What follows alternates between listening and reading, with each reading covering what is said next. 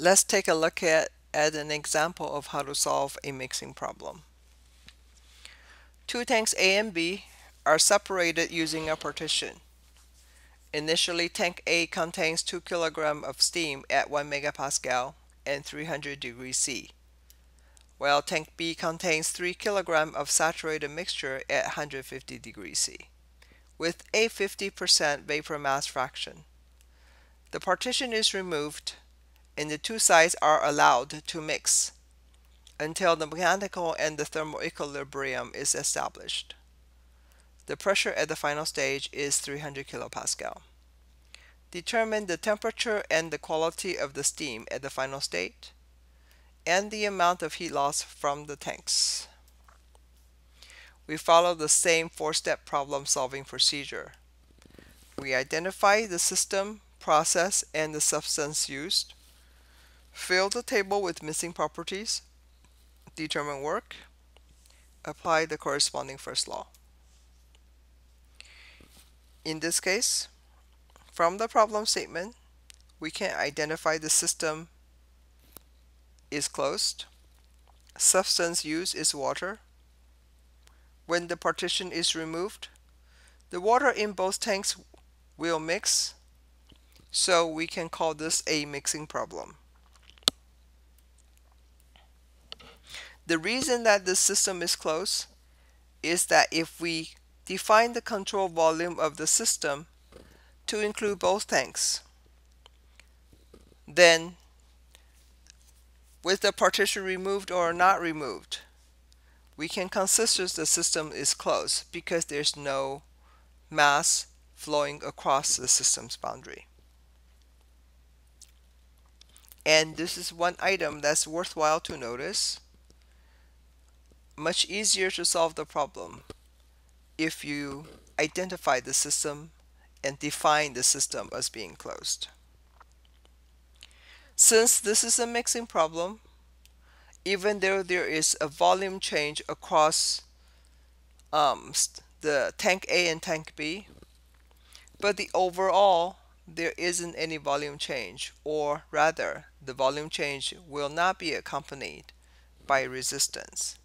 So for mixing problem, boundary work is equal to zero. Step 2.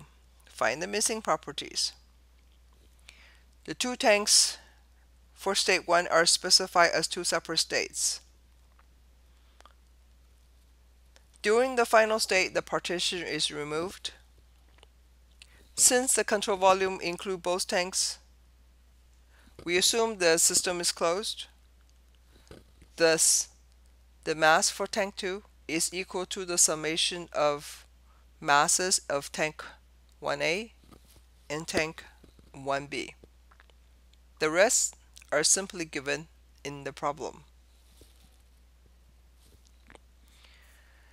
For state 1A, there are two intensive properties PT. State 1B, two intensive properties TX State 2, we only have one intensive property, but we should be able to find at least everything for state 1A and state 1B. Once we found all of the properties for state 1A and 1B, mass is the sum of tank A plus tank B volume is also the sum of tank A and tank B. From mass volume, I can find specific volume for state 2. With two intensive properties given in state 2 at 300 kilopascal and this, we should now be able to find the rest of the properties.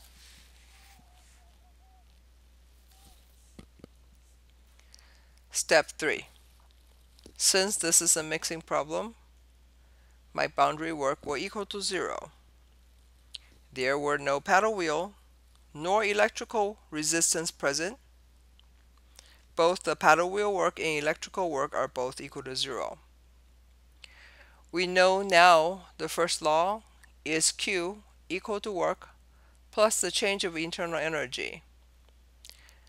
Work for all three types are equal to zero. we can write the changes of internal energy as internal energy at the final state minus internal energy of the first state.